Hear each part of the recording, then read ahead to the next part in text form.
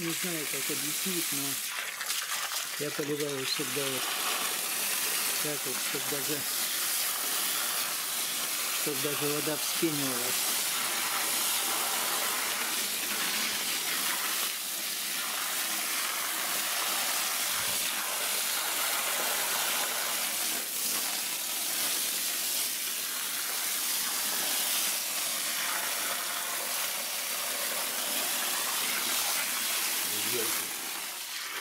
Все, он засветился.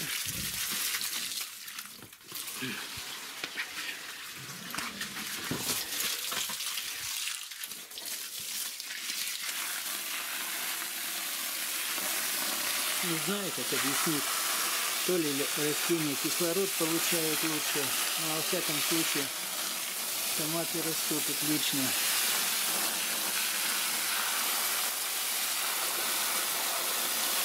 Вот так, чтобы даже взбивалась вода.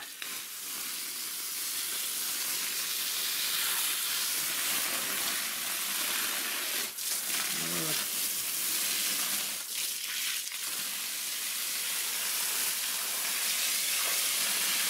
Что здесь, что в другой теплице. Здесь сверху меня перегной, там на земле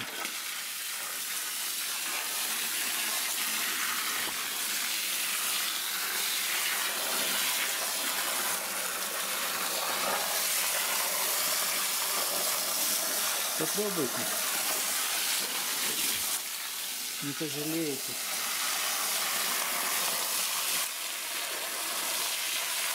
Вот тут его напор неплохой. Сегодня хороший напор. Обычно он хуже, но все равно позволяет так сбивать землю.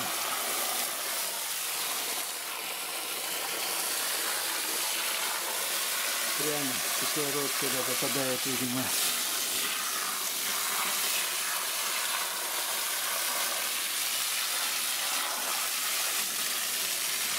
Вон корни даже, видите, сами просят.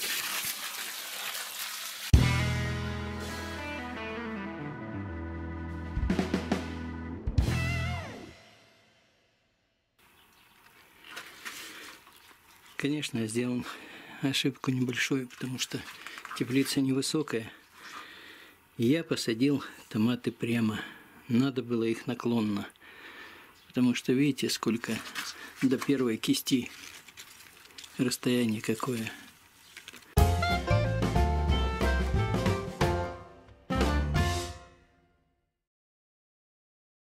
Пустое это расстояние.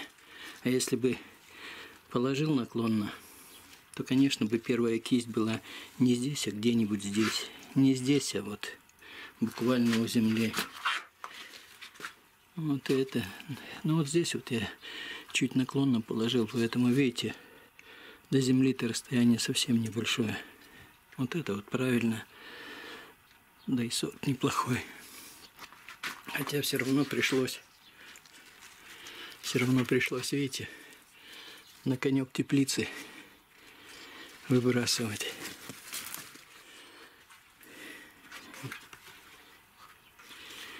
Так, ну ладно, сегодня уж надо срывать.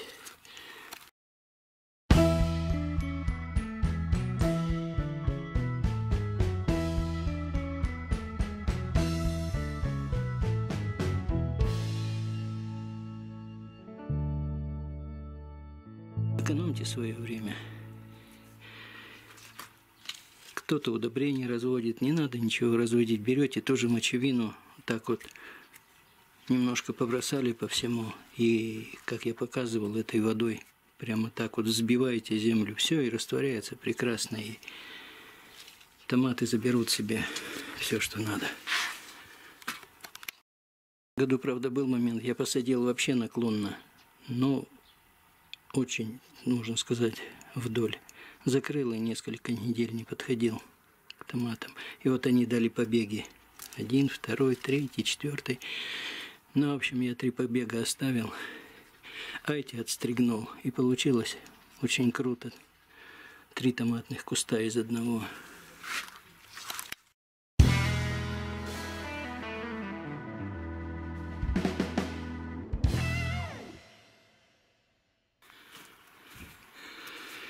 Ну вот картошка проклюнулась. Вспахал, положил в борозды и сразу окучил.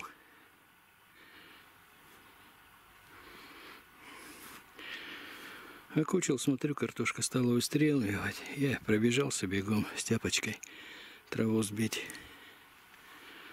Так что вот лентяй растит картофель. А здесь вот, собственно, в этой теплице тут помидоры. Ну, я решил в качестве эксперимента картошку посадить давно. А она вымахала вон уже пол пояса. И цвести уже вот сейчас вот будет 1 июня. Пришлось подвязать. Подвязать как томаты. Видите? Подвязал, обмотнул. Посмотрим, что дальше будет. Только нужно вот земельки сюда подложить, конечно. Поэтому сейчас пару веток подбросим.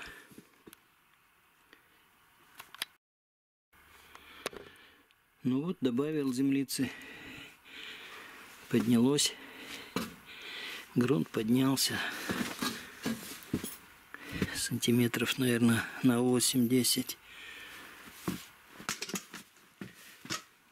Все польем и вперед. Эксперимент.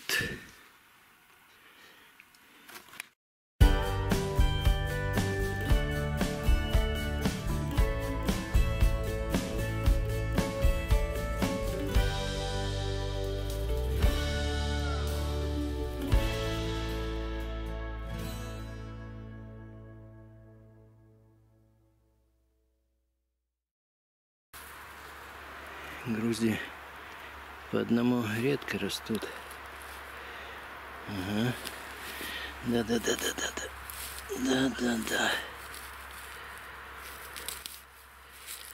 Вот такие вот тоже среднего размера. Нормальные. В нормальном лесу нормальные грибы.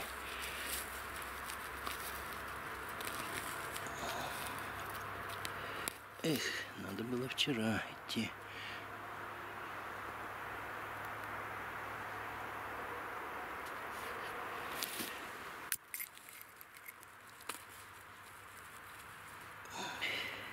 Красавцы.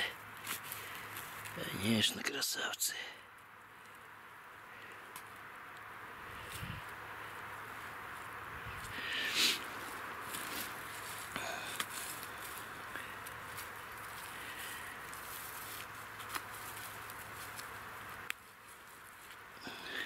Тут еще выглядывает молодежь.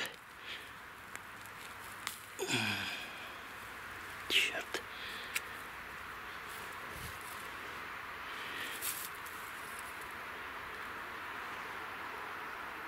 Ну вот, хорошо.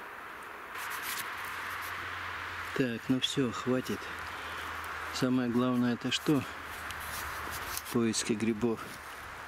Правильно вовремя остановиться. Дерка груздей. Ну, здесь такое на жареху и грузди, белые. Ну, конечно. Ну, вот как уйдешь вовремя остановиться. Вот, ты говорят. Красавец. Ну вот, повылазили. Никак от этой лисины не уйдешь. Тут, тут молоденькие пошли.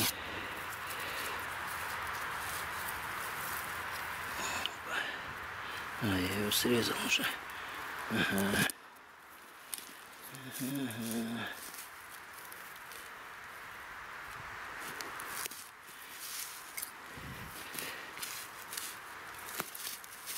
Обычно, вы знаете, под деревом там влага скапливается и ну вот так оно и есть. Видите?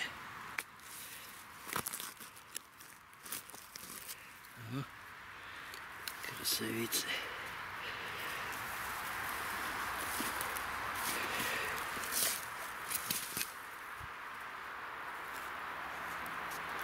Ну вот, кажется, все. Вот там вот опять. Нет, нет, нет.